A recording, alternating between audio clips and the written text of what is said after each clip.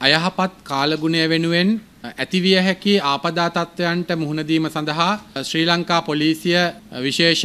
වැඩපිළිවෙලක් මේ වන විටත් සකස් කරලා තිබෙන්නේ. විශේෂ පුහුණුවක් ලබපු ජීවිතාරක්ෂක හා ආපදා සහන නිලධාරීන් පණහ බැගින් නිලධාරීන් පොලිස් නිලධාරීන් එකසිය පණහක් මේ වන විටත් කළුතර ගාල්ල සහ මාතර පොලිස් කොට්ටාස වෙත යොමු කර තිබෙනවා විශේෂ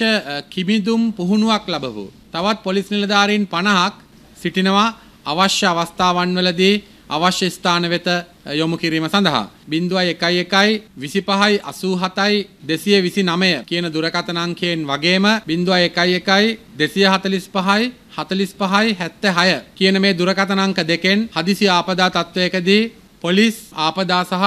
නාවික දිසාව වෙත දැනුන්දීමට හැකියාව තිබෙනවා